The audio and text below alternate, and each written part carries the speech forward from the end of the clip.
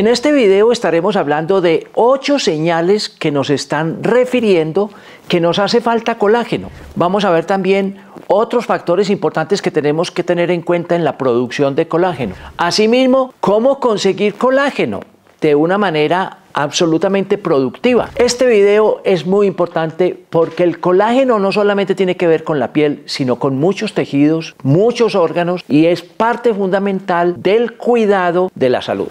Ocho señales que te falta colágeno. Así lo cuidas. La falta de colágeno puede manifestarse de diferentes maneras en todo nuestro organismo, muy especialmente en la piel, pero también en el cabello, también en las uñas, pero también en las articulaciones, donde el colágeno tiene una participación muy importante, en todos y cada uno de los tendones y ligamentos de nuestro organismo. Muchas personas piensan que colágeno es piel. Bueno, el colágeno va mucho más allá de la piel y tiene que ver con muchos de nuestros órganos y tejidos. ¿Cuáles son esas señales que nos falta colágeno? Empecemos por la piel. Número uno, arrugas y líneas de expresión más pronunciadas. Definitivamente la falta de colágeno hace aparecer arrugas y las líneas de expresión pueden ser más profundas, es decir, mucho más notables a la vista de cualquier persona y de nosotros mismos. La falta de elasticidad de la piel es la razón por la cual el colágeno está allí debilitado. A medida que disminuye la piel, se vuelve más fina y propensa a las arrugas. Esa es la primera señal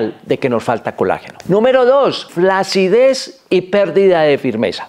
La pérdida de firmeza en la piel pero también en toda la estructura de los tejidos blandos, es una señal de falta de colágeno. La falta de colágeno hace que la piel y todos los tejidos alrededor pierdan su relleno natural, lo que lleva a una apariencia flácida y menos definida. Número 3, piel seca. Esta es otra forma muy importante para identificar que nos falta colágeno. Para muchas personas, la piel seca o muy seca, reseca, es absolutamente una constante de su vida. Y lo que no hemos pensado es que detrás de esa piel seca se esconde la falta de colágeno. Por eso mismo, cuando falta colágeno, se pierde humedad en la piel, la pérdida de la humedad en la piel se relaciona con piel seca. La disminución de el colágeno puede provocar sequedad y descamación. Mucho cuidado con la sequedad y la descamación.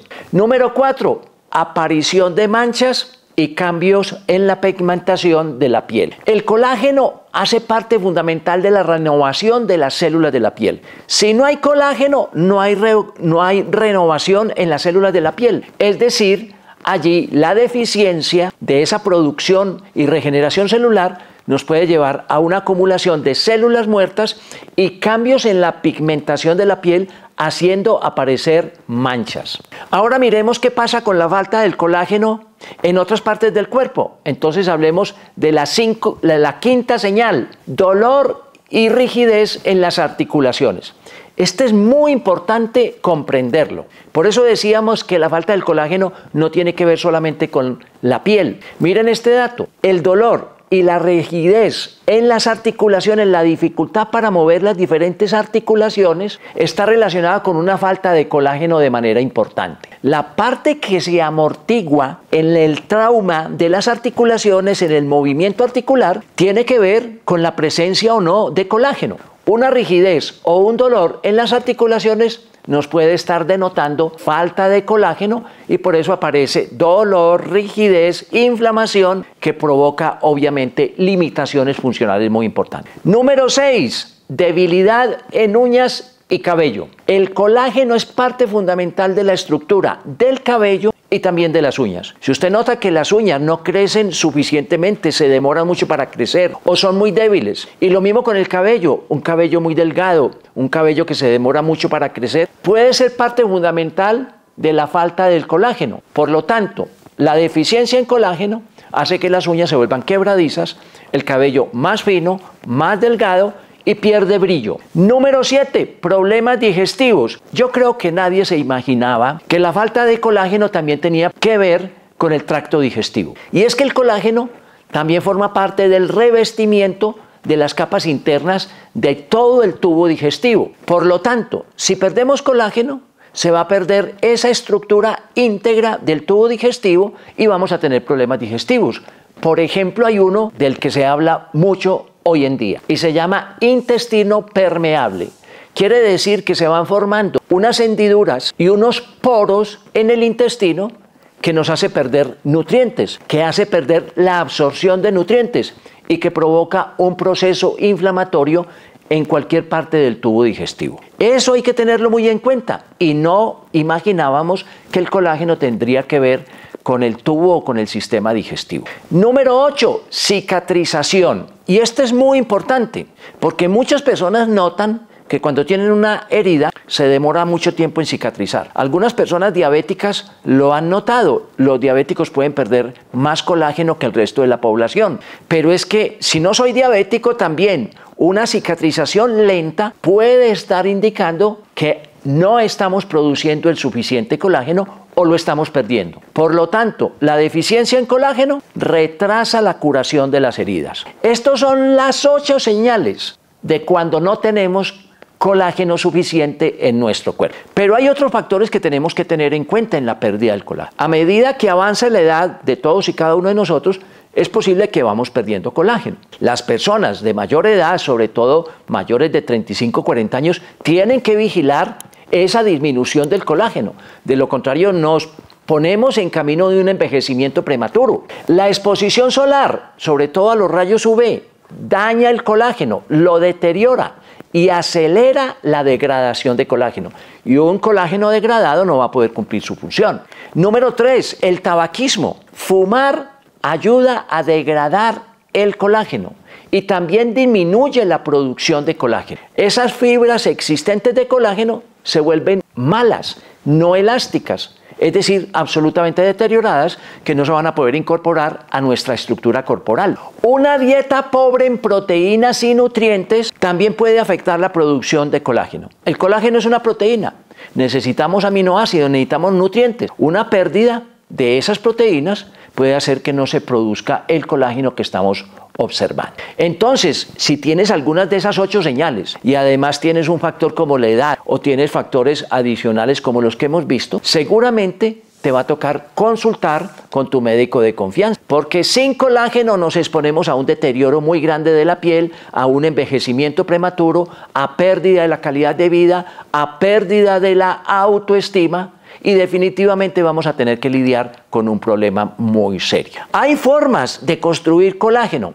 y vamos a ellas. ¿Cómo construir colágeno todos los días de la vida? Bueno, esto tiene dos formas principales en las que tú puedes obtener colágeno. O lo haces a través de la dieta, una dieta variada y equilibrada, o tienes que acudir a una forma de suplementación. A través de la dieta, ¿cómo lo podemos lograr? Un buen consumo de proteínas, un buen consumo de aminoácidos. Eso es esencial para que se obtenga una forma natural de producción del colágeno por nuestro mismo organismo. ¿Cuáles son esas proteínas? Bueno, hay proteínas derivadas de la carne y el caldo de huesos es una forma magnífica, excelente de obtener colágeno, ya que se obtiene al hervir los huesos y el tejido conectivo de esos huesos durante largos periodos y allí hay colágeno directo que puede entrar a nuestro organismo e incorporarse como un colágeno de procedencia externa. Carnes con piel y cartílago. El cartílago es esa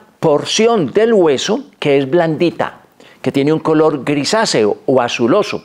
Eso es aprovechable por nuestro organismo. Es decir, que comer la piel de las carnes y comer obviamente este cartílago también nos ayuda a incorporar colágeno en nuestro organismo. Las carnes con piel y cartílago, sobre todo de pollo, también de res, se incorporan a nuestros tendones, a nuestra corteza, en la piel y va a ser muy importante. La carne de cerdo también tiene en los huesos la misma propiedad, también la podemos consumir. Ojalá privilegiáramos las carnes blancas, por ejemplo, aves y pescados. En los pescados con piel y espinas estamos aprovechando enorme cantidad de colágeno. Salmón, sardinas, atún, caballa, son muy ricos en colágeno y además son absolutamente nutritivos. El caldo de pescado, al igual que el caldo de cualquier otro hueso, concentra importantes cantidades de colágeno tanto en las espinas como en la piel y lo podemos recuperar. Los huevos, el huevo, su membrana es muy importante en, el aporte de colágeno. En la membrana de la cáscara y las yemas de los huevos contienen importante cantidad de colágeno.